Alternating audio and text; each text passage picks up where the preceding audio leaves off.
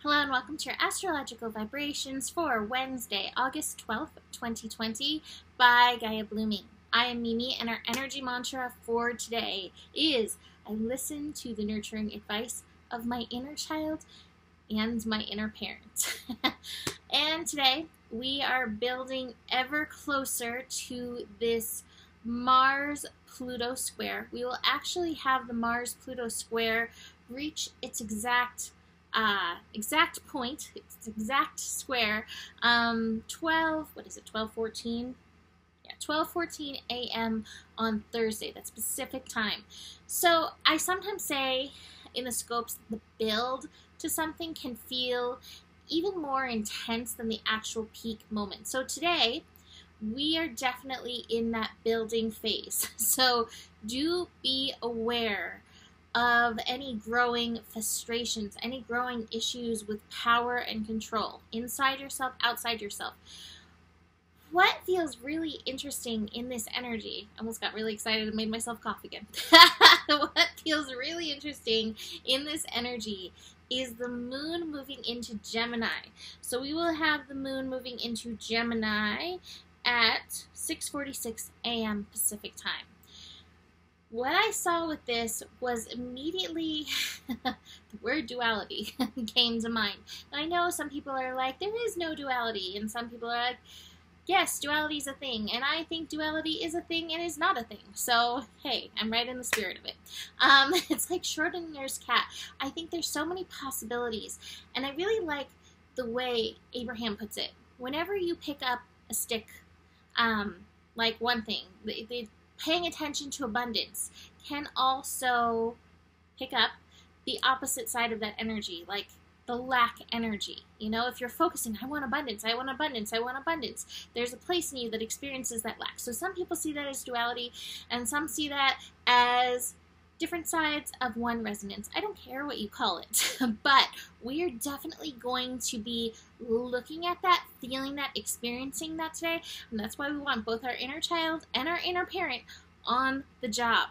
Now, Gemini energy at its best wants things happy, chill, easy, fun, connecting. Like, hey, I resonate. Ooh, I see where I can match that energy. I see where we can connect in that.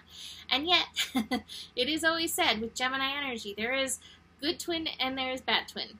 Um, what we need to remember in this as we build into this, even if you see yourself as a peace loving, happy person, there is there is the passion, there is the destruction, there is the anger.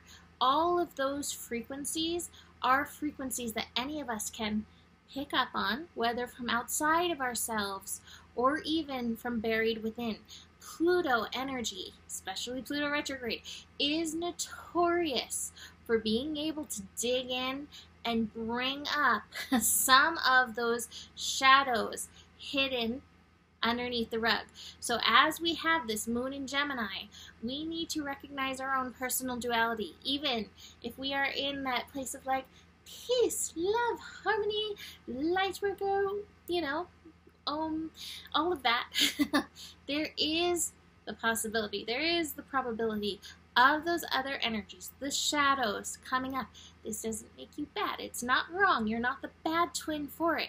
This energy is designed I always say plutonic colonic. This is designed to go in there and shake up those dust bunnies. So your work is to recognize these dust bunnies in yourselves as they are being brought up, specifically around impatience with that frustration, aggression when things aren't going your way, power and control issues, the stuff with authority, whether you are the authority or there's authority placed on you. And this is why we also want that perspective of the inner child and the inner parent because both have beautiful perspectives to lend to this cauldron of energy that we're all experiencing in one way or another.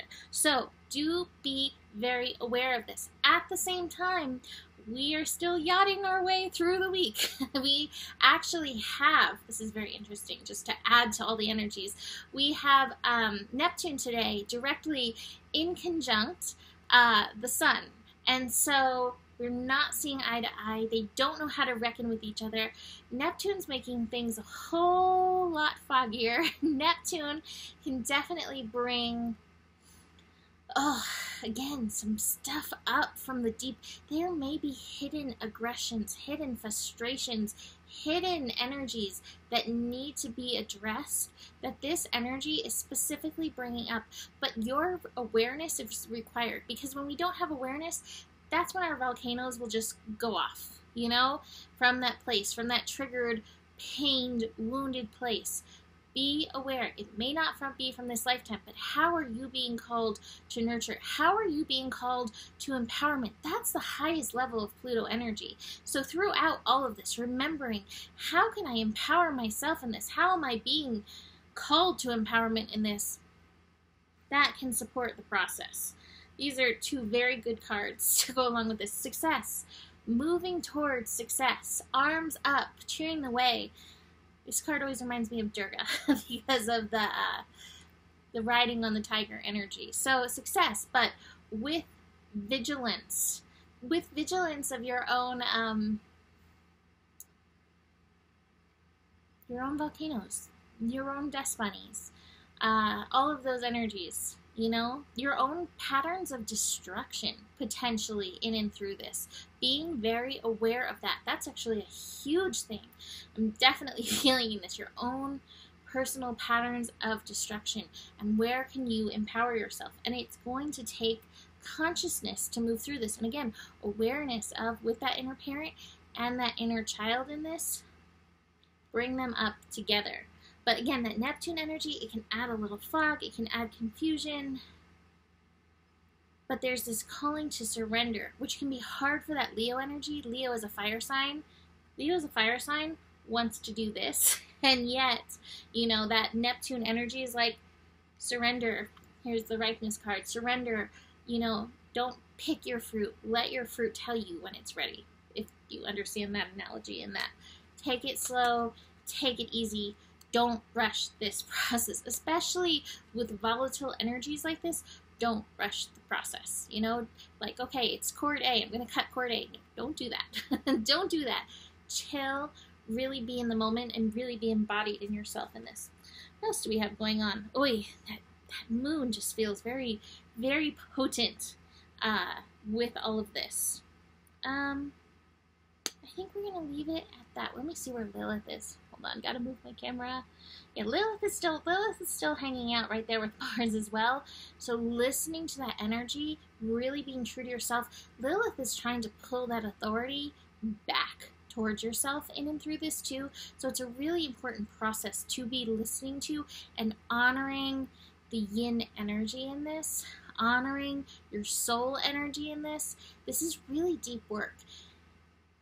The going off like a firecracker part that feels that feels more here, but like the deep work in this, you can get completely chakra embodied in this.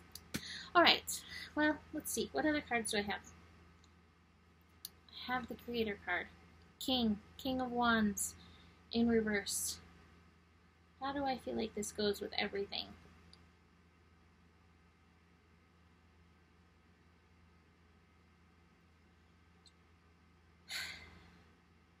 My feeling is with this, this process is so deep.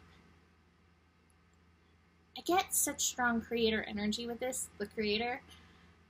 This energy today isn't about using like your creative forces to necessarily solve the problem or anything like that. It's really, again, kind of that feeling of like going down into your lower chakras and really clearing these energies out is kind of my feeling with this. So, like, again, slow down, don't be in a rush, don't have to get there already. This isn't about the completion process, this is about being in the moment. So, do keep that in mind um, through through this day, through these energies, and remember the peak is going to be happening early, early, early in the morning on Thursday. so stay with it and realize, like, you may start the day like, la di da, but just watch. Watch for those spikes. No matter how peaceful you are, we all have those pieces within us, and it's okay. Visit with them. What is the message behind them? That's part of that Gemini energy, too. What is the message? What is your lesson?